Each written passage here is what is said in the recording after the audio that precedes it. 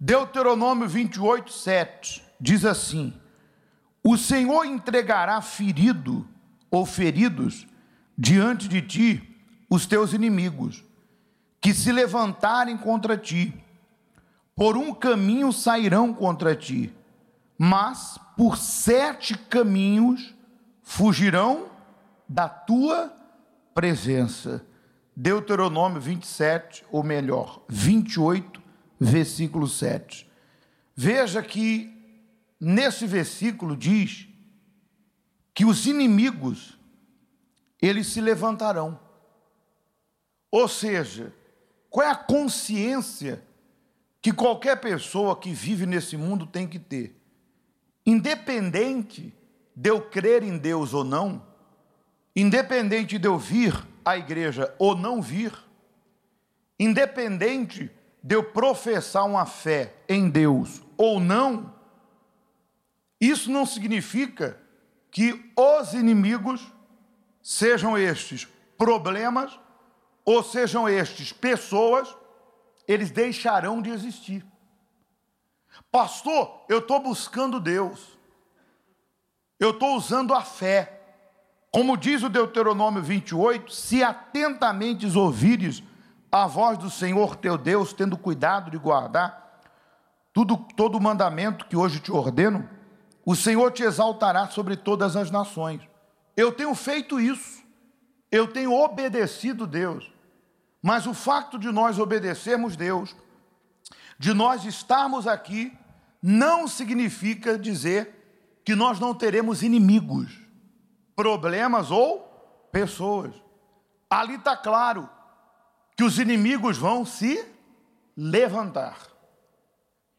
Então, Deus, Ele vai nos dar vitória sobre os inimigos, mas os inimigos, eles vão se levantar. E mesmo que Satanás e seus demônios saibam que na cruz eles já foram vencidos, há 2021 anos atrás, porque Jesus triunfou sobre eles, o fato deles terem sido vencidos não impedem eles de fazer a parte deles. Porque o diabo sabe que nem todas as pessoas têm consciência da autoridade que foi dada a elas através da fé no nome de Jesus.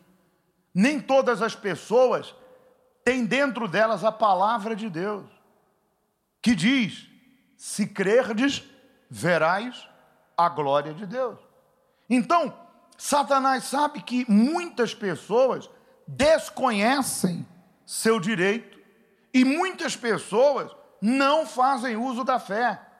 Significa dizer que, mesmo que ele seja um derrotado, ele vai se levantar com uma situação ou com determinados problemas na vida de uma determinada pessoa, e esta, por não ter a fé dentro dela, na promessa, vai se entregar, vai se matar, vai meter os pés pelas mãos ou pela cabeça, como quiser, vai fazer besteira, vai desanimar, vai se entregar.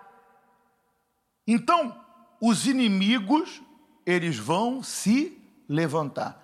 Creia eu em Deus ou não, o diabo vai fazer o trabalho dele. Ele vai levantar problemas. A pergunta é: quais inimigos você tem vivido na tua vida? Quem são eles? É uma doença? É um dinheiro que você tem para receber e está preso? É um processo em tribunal? É dívidas? Desânimo? É um marido ou filho que depende da casa desempregado? É um dinheiro em tribunal? Qual é o teu inimigo? São pessoas invejosas, conspiradoras, pessoas que querem te prejudicar? É, pastor, é um desses aí. Pois bem, isso aí não vai deixar de, de existir. Problemas e inimigos não vão deixar de quê?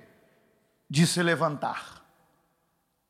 O Senhor fará que sejam derrotados os inimigos que se levantarem contra ti. Então, primeiro eles se levantam. E aí, o que, que acontece com eles depois? Eles são derrotados. Então, não reclame do problema, porque só tem problema quem está vivo. Você passa na porta do cemitério. Algum daqueles mortos tem problema? Então pronto. Chega lá do lado do jazigo de um desconhecido, bate e pergunta se ele tem algum problema. Só tem problema, gente, quem está vivo. Enquanto nós estivermos aqui, os problemas vão se levantar contra qualquer um de nós. Mas se eu estou em aliança com Deus, com a minha vida no altar, o que, que diz aqui? O Senhor fará que sejam o quê? O Senhor entregará feridos diante de ti os teus inimigos, que se levantarem, por um caminho sairão, mas por sete fugirão. Então pode se levantar o que for. Por eu ter uma aliança com Deus, por eu usar a fé, esse inimigo vai cair. Essa doença vai cair, esse bloqueio vai cair, essa falta de clientes vai cair, esse desemprego vai cair, esse desânimo vai cair, esse inimigo vai cair, seja coisas, seja pessoas, vão cair, porque maior é o que está conosco do que aqueles que estão contra nós. Percebeu? Você crê? Essa promessa vai se cumprir.